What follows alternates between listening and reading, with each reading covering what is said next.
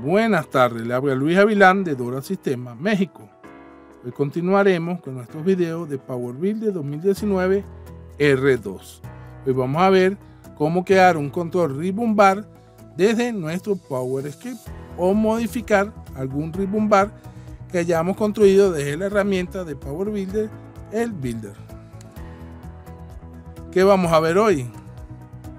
¿Cuáles son los controles Ribbon a codificar? Y una demostración y ver su codificación. El, los controles de Ribbon Bar los podemos crear desde cero, desde nuestro PowerScript.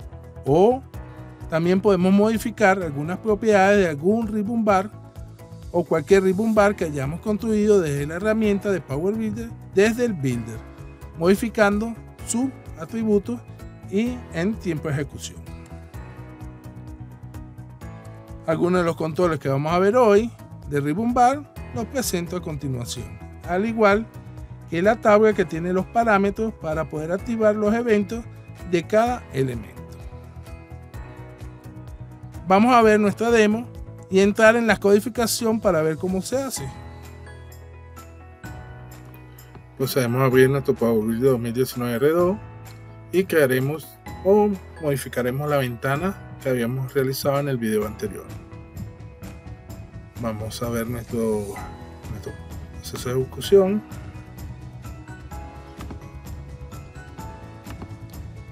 y ahora vamos a ver en la codificación cómo poder realizar un ribbon bar desde cero vía PowerScript o modificar las propiedades del, del ribbon bar que hayamos realizado con nuestro builder de la interfaz. Para esto vamos a crear primero una función donde inicializamos nuestro ribbon bar.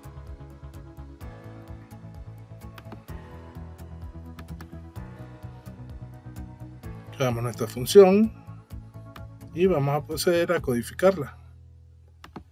Lo primero que hacemos es declarar nuestras variables locales que vamos a utilizar. Preguntamos si el control ribbon bar lo vamos a traer con el XML o lo vamos a realizar desde cero. Si lo vamos a traer de un XML, lo traemos con el load from XML, asignándole el valor del XML que queramos. Declaramos nuestros controles que vayamos a modificar las propiedades y tomamos los valores y le, asignamos los valores que vayamos a modificar.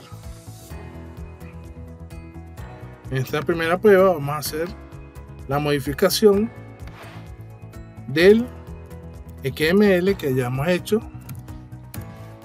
vía Builder para que ustedes vean.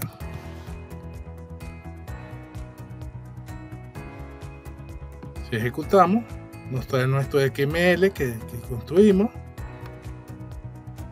Y le vamos a asignar vamos a, vamos a modificar algunas propiedades que ya que nos trae el XML ¿cómo hacemos esto? nos vamos a la función de inicializar eh, ribbon bar y aquí le estamos diciendo que el checkbox de scorebar del título lo ponga chequeado, false. El print título, que es un checkbox también, le ponga chequeado, false.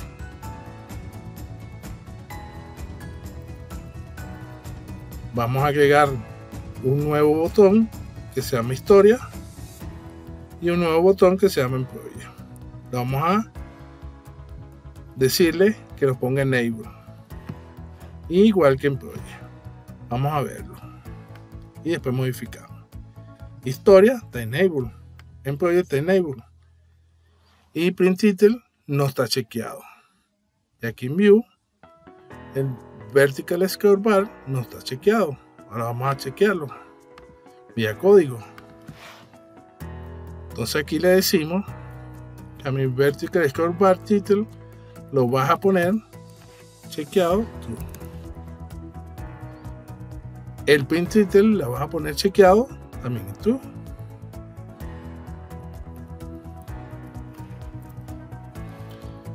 Y en la historia, mi icono de historia lo vas a poner deshabilitado.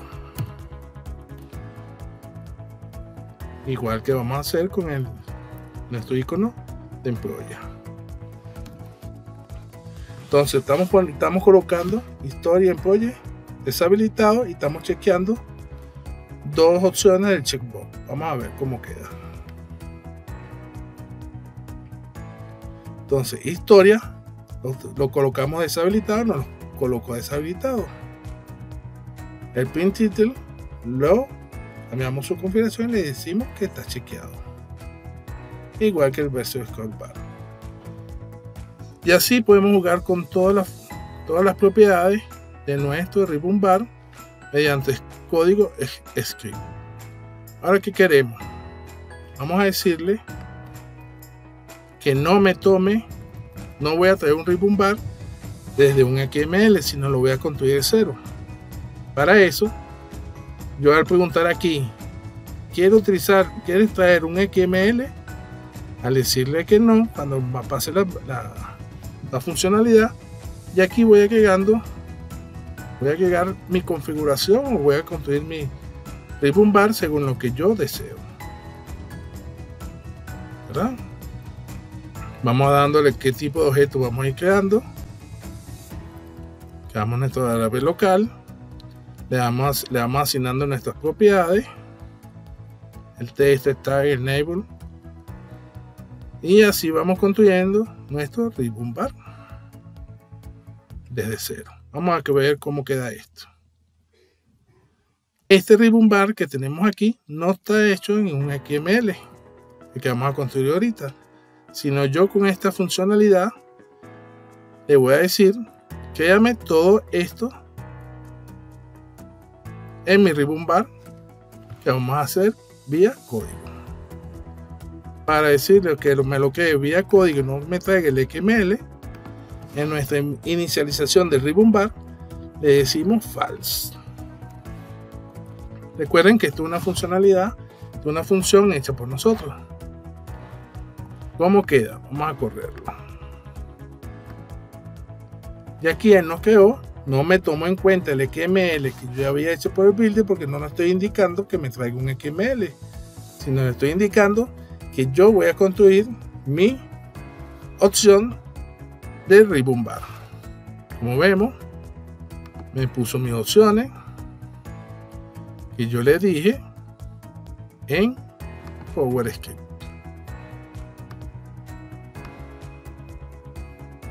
Vamos a verlo y vamos a modificar uno para que ustedes vean que lo construye de cero. Vamos a ponerle aquí que debe de operación me ponga operación. Nuevo. Tablero nuevo. Vista de órdenes nuevo. Y le vamos a decir a este vista de órdenes nuevo que sea false. que podemos, al momento de crear, le estamos dando las propiedades que nosotros queramos. Lo guardamos. Al momento de correr, tenemos aquí, a este le dijimos vista de órdenes nuevo, enable false. Aquí tenemos